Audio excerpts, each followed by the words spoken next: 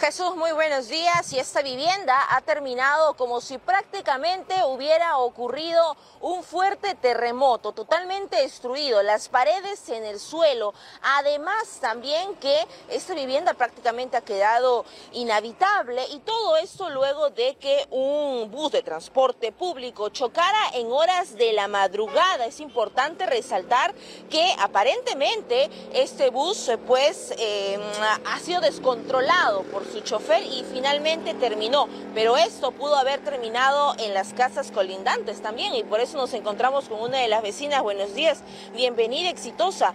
¿A usted le sorprende el fuerte sonido? Prácticamente salíamos a botar la basura, pasan acá bastantes niños, señoras, y este imprudente prácticamente que venido manejando, mira cómo maneja, mira, mira cómo maneja. Mire, usted misma está viendo, mira, está viendo cómo maneja. Ese es el problema aquí, ¿no? Porque al encontrarnos en una vía... Lo primero que ellos dicen, y lo primero que ellos dicen, ay, se me bajó los frenos, se me esto, pero cada rato pasa esos accidentes porque no tienen control. Mira, debería poner la municipalidad un rompemuelle, porque no hay respeto, no hay respeto. Exactamente, Jesús, nos encontramos en la zona de Mi Perú, en Ventanilla, y nos encontramos en la calle Ucayali, cruce con Madre de Dios. Aquí hay un problema, porque vemos una calle con bajada y que da directamente a las casas. Al no haber un control para reducir la velocidad, es donde se originan los accidentes. Vienen carros también así, buenos, nuevecitos, y entran así como si fuera pista de carrera no respeta. No muy tranquila porque puede un vehículo chocar contra Cada,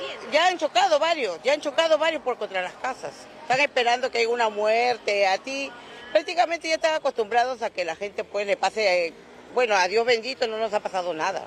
Aquí es como si hubiera ocurrido un terremoto, señor. Sí, sentimos eso. Yo salí espantada, justo estaba recogiendo mi basura para botarlo, cuando vino el ruido tan espeluznante y hasta, la, hasta los vidrios me lo ha rajado prácticamente.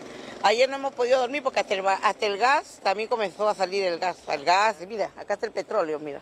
¿Y el chofer, usted lo ha visto? El chofer se ha, ha, dejado el carro, se ha bajado, se ha bajado, ileso.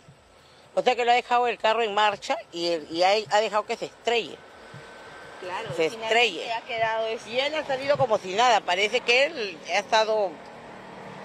Yo todavía le dije, señor, mira lo que ha hecho. Ay, eh, no es mi culpa, el carro así, pero no es su culpa de él.